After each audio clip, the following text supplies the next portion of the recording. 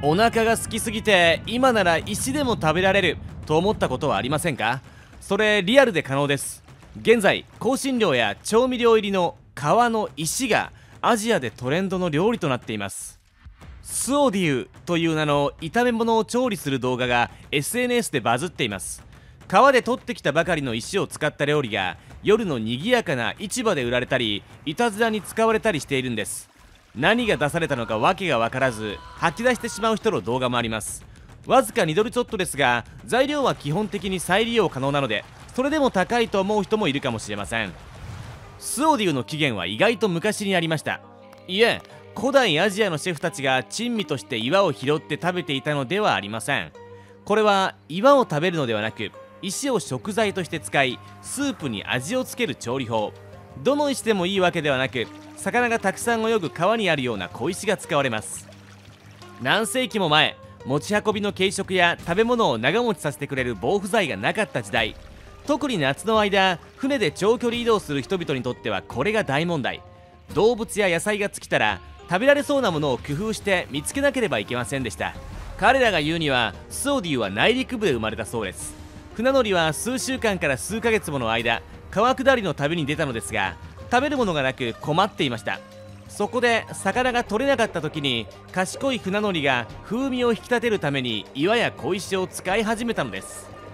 魚や牡蠣アサリなどの魚介類と一緒の川の中にある岩や石は美味しい川の幸の味を吸収。それを鍋に入れると泥水スープの出来上がりとはならず魚の美味しさが爆発したのです。しかしモーター付きの船が使われるようになり経済的に発展するとそのような料理は廃れていきました。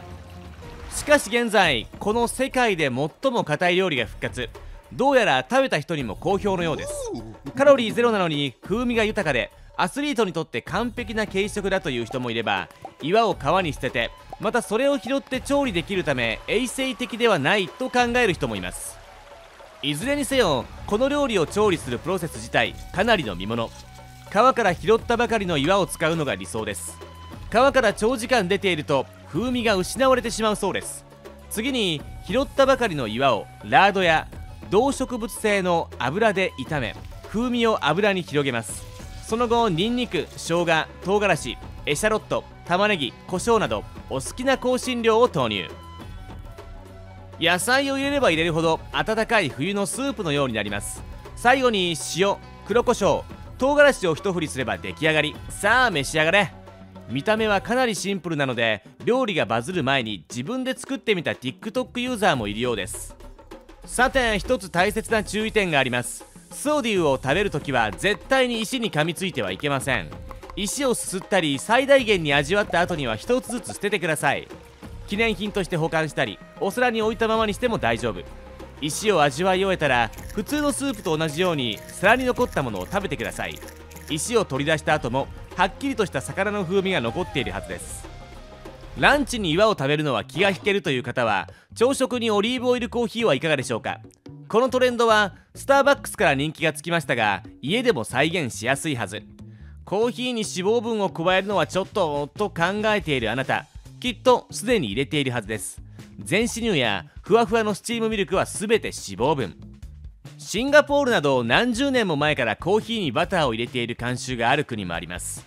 このドリンクが好きな人はカフェインがバターの脂肪を全て吸収して体内にゆっくりと取り込まれるのでコーヒーから得られるエネルギーがより長く保たれると言っています。オリーブオイルは昔から健康にいいことで有名でどんな形で摂取してもビタミンや抗酸化物質が体にいい影響を与えると言われます。コーヒーがコーヒー以上にオリーブオイルっぽい風味になるのを懸念しているあなた。ダークローストを選ぶと良いでしょう。コーヒー自体の風味が強いですからね。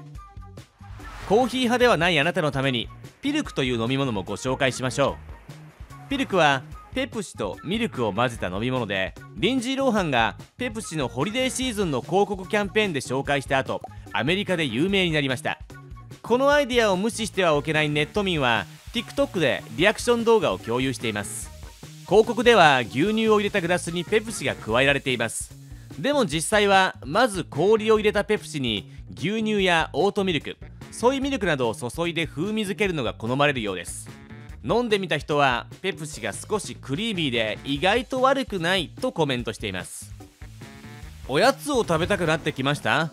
ではただのおやつではなく長野県初のスズメバチせんべいはいかがでしょう？これはスズメバチを焼き込んだおせんべい。地鉢せんべいは大町地鉢愛好が菓子職人とともに考案。この変わったおせんべいに使われるのはスズメバチ界の悪者黒スズメバチの幼虫。黒スズメバチは獲物を子供に餌として与えるために他の昆虫を麻痺させて持っていきます。しかし心配はご無用。これは茹でて乾燥させせんべいに混ぜ込んで焼かれた後ではあなたに何の害も加えません。食べた人は苦くて風味があり蜂の味は焦げた苦いレーズンみたいだと言っています。食べてみたいですか？アジア初の食べ物をもう一つ。英語ではセンチュリーエッグと呼ばれるピータンはいかがですか？ピータンは粘土塩気梅生石灰を混ぜて長期間保存した卵。時とともに外側の卵白が暗褐色から黒色のゼラチン状になり内部の卵黄は暗緑色に変化します。見た目は恐ろしげですが卵には豊かな風味があり食べても安全。細菌やカビはありません。通常卵は醤油ベースのタレとともに前菜として供されます。アヒルうずら鶏の卵が使われピータンの他にもセンチュリーエッグ。つまり100年卵のみならず1000年卵ミレニアム卵とも呼ばれます。少なくとも数世紀にわたって美食として知られています。伝説ではある男性が好きな女性を驚かせるために外にアヒルの卵を残しておいたところ彼女がやっと見つけた数ヶ月後には信じられないほど美味しくなっていたのだとか私は結構です。お先にどうぞ。韓国の市場に行って海鮮が見えないのに匂いがしたらベヨンデギの屋台があるのかもしれません。コーヒー豆のように見えて実は昆虫の一種で蚕のさなぎです。市場から全国のスーパーまでどこでも購入可能。煮たり蒸したりして食べることが多く風味がありかすかに魚のような味がします。外側はパリパリで中はジューシー。塩味でスパイスを効かせたものの人気が高いですが砂糖を加えて甘く調理されることもあります。キニートを作る蚕は地元で数世紀にわたって重要な文化的役割を果たしてきました。その後ある勇気のある人が蚕をタンパク源として提案。一口目から皆を虜にするわけではなさそうですが徐々に慣れるようです。現在主に年配の方が好んで食べているそうですよ。